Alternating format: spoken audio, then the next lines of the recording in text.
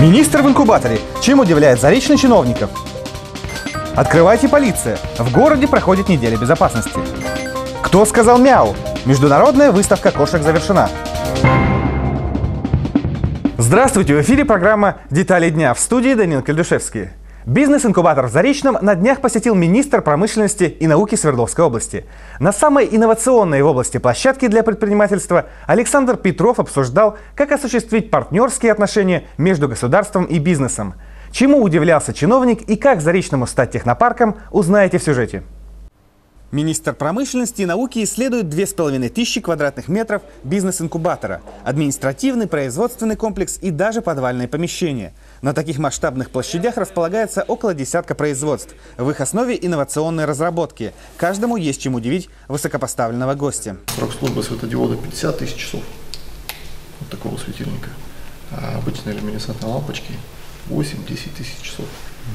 То есть он служит в пять раз дольше. Вместе с министром в Заречный приехали и директора технопарков из других городов области. Всем им рассказывали, как бизнес-инкубатор помогает предпринимателям реализовывать их самые смелые и современные идеи. Для начинающих на первом этапе здесь создают самые щадящие условия. Так называемый комплекс базовых услуг включает в себя аренду, тепло, охрану, уборку помещений и офисные услуги. В дополнение к этому интернет, телефон и электричество. Словом, все для того, чтобы маленькие цыплята бизнеса превратились в самостоятельных птиц, говорили сегодня министру. Польза такого ноу-хау для города в данном случае в дополнительных рабочих местах. Ну, пока. Сколько у вас э, рабочих мест сегодня? А, рабочих мест у нас сейчас создано 5, планируется создание 15 рабочих мест. Рассказали сегодня министру и о том, что выращивание инноваций обречено натыкаться на подводные камни. К слову, предприятие, занимающееся производством яхт в Заречном, уже несколько лет не может подобрать себе поставщика ветровых стекол. Таких производств попросту не существует в нашем регионе. Но министр на эти трудности смотрит несколько иначе. Но если есть техническое задание, дайте техническое задание, я думаю, что в нашей области можно сделать все, что угодно. О том, что нужно делать, собравшиеся говорили сразу после экскурсии. За круглым столом обсудили вопросы государственного и частного партнерства. Первым делом министр высказал свое мнение об увиденном. Интересные темы, интересные проекты мы здесь увидели. То есть с точки зрения Министерства промышленности и науки я бы поддержал все эти проекты, поскольку я считаю их достаточно актуальными для Свердловской области. Об актуальности зареченских проектов шла речь не случайно. Министр и его коллеги собираются взять на вооружение полученный опыт и перенести его на всю область. Сейчас в Госдуме в первом чтении приняли закон о технопарках. Это, по мнению собравшихся, должно стать хорошим толчком для развития инновационных производств на территории Свердловской области. Вот только чтобы Заречному стать полноценным технопарком и получать соответствующие льготы, нужно создать, по крайней мере, еще один бизнес-инкубатор. Площадь технопарка по новому закону должна быть не менее 6 тысяч квадратных метров. Данил Кельдушевский, Антон Коряков, Иван Козырев. Детали дня. Акция «Неделя безопасности» стартовала в отделении по делам несовершеннолетних Заречного. В течение семи дней инспекторы вместе с участковыми будут устраивать рейды по неблагополучным семьям. Полицейские проверят, в каких условиях живут дети, чьи родители злоупотребляют алкоголем. Один из таких рейдов прошел накануне. Александр Кузнецов расскажет детали. В Гагарку инспекторов в очередной раз привели обращение граждан. В полицию соседи 32-летней Светланы позвонили после того, как увидели ее двухгодовалого ребенка, бегающим по улице в одной майке и без обуви. Сотрудникам ОДН соседи рассказали, в пятницу мать малыша выпивала в компании знакомых, а потому ей было не до сына. Однако сама Светлана виноватой себя не считает. Я не пила, Здрасте. Олеська пила только. Димка в каких условиях бегал? То он каждый день так у нас бегает, в деревне, что я эти в квартире Погодные условия живу. позволяют раздутым бегать ребенку? Он думал, выкатывает, он выскакивает бывает на улицу. Сегодня опять выскочил у меня. На данное время пока есть сделано просто предупреждение.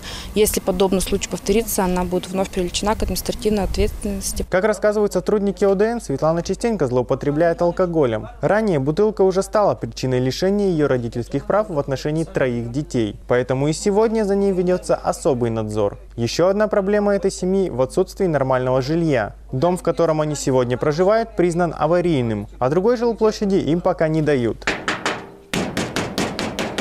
А вот на улице Набережной, что в Мизенском, с домом оказалось все в порядке. По крайней мере, внешне. Изнутри посмотреть на то, как живет очередной подопечный инспекторов, не удалось. На стук в дверь и на звонки так никто и не откликнулся. Приехала э, семья э, несовершеннолетним ребенком. И вот должен родиться еще один.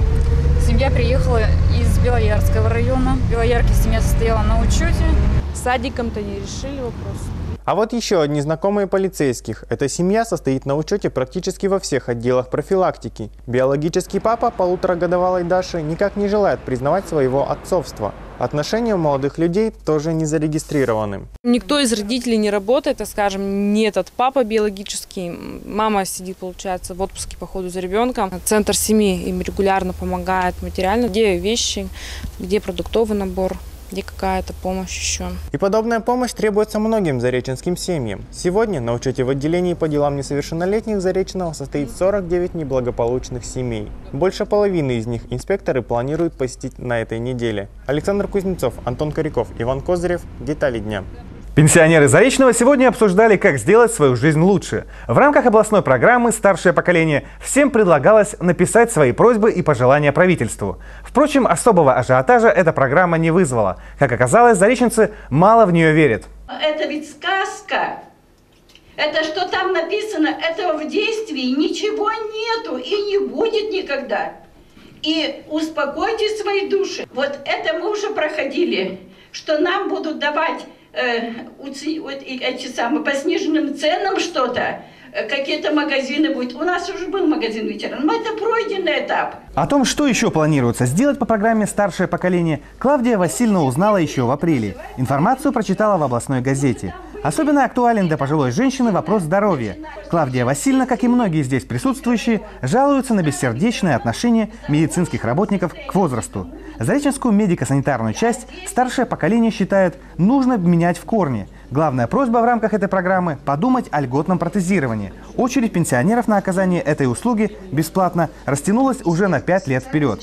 Вообще в программе «Старшее поколение» 5 разделов. Помимо здоровья, вопросы, касающиеся безопасности жизни и социальной поддержки старшего поколения. Внести свои предложения в программу «Старшее поколение» просто. Надо заполнить специальную анкету в брошюре. Брошюру, кстати, распространяли по Заречному тиражом тысяча экземпляров. В области, в свою очередь, уверяют, на реализацию программы «Старшее поколение» деньги будут. В программе запланированы определенные денежные средства, которые не поступают в местный бюджет или на счета об- общественных организаций. Это средства, которые выделены на развитие центров социального обслуживания населения, которые и являются основными исполнителями программы на территориях.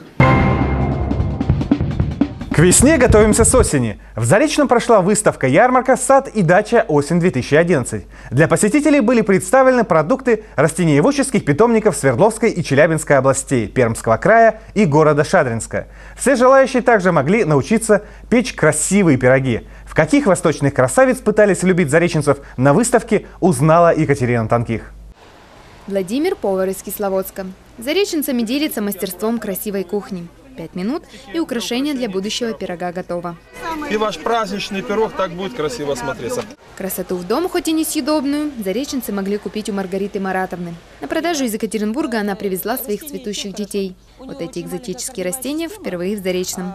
Бугенвилли родом с Востока, отличается хорошим здоровьем, очень любит чистоту и воду. Маргарита уже 10 лет занимается разведением девичьего винограда. Так бугенвилли называют на Востоке. Надеется, что зареченцы тоже полюбят его. Так это наши дети, мы же их любим, воспитываем. Вот это все наши дети, вот это дети. Совсем, это малыши, это вот подростки, это вот уже более-менее взрослые. Оксана Гриб любовь к растениям разделяет точно. Архитектор ландшафтного дизайна работает с разными растениями. Она помогает людям создавать зеленый рай во дворе их дома. И это вне пространства и времени что-то такое просто, знаете, гармоничное какое-то создание, сад. Сад – это живое существо. Для красивого и цветущего сада на ярмарке можно было найти все. Здесь семена и кустарники, цветы и ягоды. Всего 60 участников. Наименований товаров на порядок больше. Весь товар, уверяют организаторы, сертифицирован. Чтобы это был качественный товар, то есть мы с этим боремся и стараемся, чтобы у нас наши граждане не страдали от покупок там всякого контрафакта. Ида Алексеевна с мужем нашли здесь для себя яблоню. Говорят, по ярмарке на площади у Дворца культуры прогулялись с удовольствием. А все есть. Ассортимент большой, поставщиков много. В общем, все виды. Выставка «Сад и дача» проходит в Заречном уже в третий раз. Она путешествует по городам каждую осень и весну. В ближайшее время ярмарка развернется в городе Верхний Уфалей, Челябинской области. Екатерина Танких, Александр Кузнецов, Иван Козырев. Детали дня. Акция по очищению источника успешно стартовала. На минувшей неделе мы обратились к горожанам с просьбой спасти родник «Восход», что в двух километрах от Заречного. На просьбу откликнулись почти 30 зареченцев. Петрона Черваш я уберу. Родник ожил, жизнью радуется. Спасать родник пришли более двух десятков человек, в том числе 16 детей. Многие из них ученики первой школы. Добровольцы убрали прогнивший сруб и поставили свежий, осиновый. Разобрали провалившуюся гать и частично соорудили новую. Вместе с тем ребята почистили и сам родник от сточных вод. Теперь здесь необходимо построить навес, чтобы осадки не попадали в источник и не загрязняли его. Для этого вновь требуется помощь горожан. В эту субботу я всех желающих приглашаю на святое дело собраться у поста ГАИ в 10 часов утра с орудиями труда, естественно, пилы, лопаты, и снова отправиться на родник. Самые хитроумные автовладельцы живут по адресу Таховская, 24. Эту новость в рубрику «Городские репортеры» прислал сегодня зареченец Валерий Першин. Почему хитроумные, становится понятно, когда смотришь на фотографии городского репортера. На этих кадрах новая стоянка возле дома построила которую администрация Заречного. Но стоянку некоторые горожане решили, видимо, приватизировать и нарисовали на асфальте номера своих машин. Теперь никто другой на пронумерованное место поставить свой автомобиль не может. По этому поводу с жителями 22 дома уже был конфликт. К тому же, то, что эта разметка незаконна, подтверждают и в администрации, и в ГАИ. Тем не менее, борьба за место на стоянке между горожанами грозит перерасти в рукопашную. Зареченцы, которые уже сталкивались с подобной наглостью соседей, советуют привлечь к разрешению этой ситуации участкового. В минувшие выходные в Заречный съехались четвероногие питомцы со всей России и Казахстана. Во Дворце культуры «Ровесник» прошла вторая международная выставка кошек. Кто и как представил наш город и что такое кошачье стеснение, узнаете в сюжете. Зареченка Виктория пристрастилась кошкам два года назад. Однажды пришла на одну из кошачьих выставок просто так из любопытства, а ушла с твердой целью завести котенка породы Мейн-кун. Сегодня представляет двух любимцев. Еще четверо ждут хозяйку дома. У каждого из них уникальный характер и привычки, уверяет Виктория. Иногда даже вредные. Любит разгребать водичку лапами, а, значит, любит муркать постоянно, спит только со мной. Света к вниманию уже давно привыкла. В ее коллекции наград международное звание лучшей кошки своей породы. А вот у ее друга Балу еще все впереди. Коту всего 11 месяцев.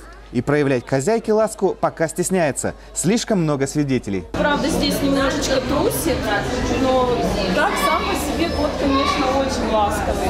А вот шотландские котята публику ничуть не боятся. Игривые и спокойны. Сегодня им удалось покорить немало зрителей. Молодая мама Екатерина даже задумалась о том, чтобы купить домой шотландского питомца. Мне вот понравился вот этот котенок шотландский. Может, даже сегодня куплю. Всего в ДК можно было увидеть около 100 пород, поговорить с владельцами, обменяться контактами. В Заречный съехались любители кошек со всей России и Казахстана. Это уже вторая выставка в нашем городе со статусом «Международная». Этого мы проводили городские выставки кошек, их было семь. А сейчас э, заключили официальные договора с филинологическим центральным клубом, он находится в Германии. И теперь мы имеем право проводить международные выставки кошек. Организаторы обещают, в следующем году иностранных гостей станет больше, а следовательно у питомцев Зареченки Виктории появятся новые конкуренты. Сегодня же кошка Света вошла в десятку лучших животных выставки. За первое место она сможет побороться уже через полгода. Теперь встречи с четвероногими будут проводиться два раза в год. Данил Кельдушевский, Мария Морозова, Александр Кузнецов, Иван Козырев. Детали дня. А теперь пришло время рассказать о погоде на среду. Прогноз от агентства Гесметео.